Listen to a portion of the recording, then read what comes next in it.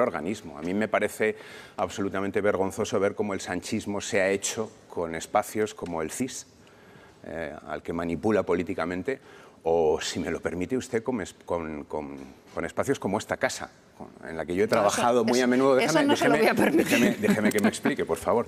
Con espacios como esta casa, donde yo creo que por esa razón se explica que estemos en los peores datos de audiencia de nuestra historia en televisión española, febrero en un 8% el peor dato histórico o un día de febrero en el 6% el peor dato histórico, tiene que ver con que los españoles han percibido que este ya no es un espacio neutral, no es TV3, no es ETV, desde luego, pero ya no es un espacio neutral.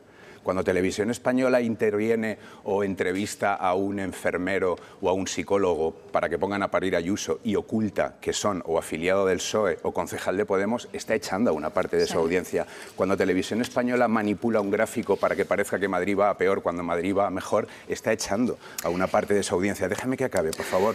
Cuando Televisión Española eh, saca a una profesional que dice que las terrazas están al 100% repletas de madrileños y detrás se ve a menos del 50% de ocupación en las terrazas, está echando a una parte de su audiencia. Cuando Televisión Española dice que Ayuso plantó a Sánchez y es mentira y tiene que rectificar, está echando a una parte de su audiencia.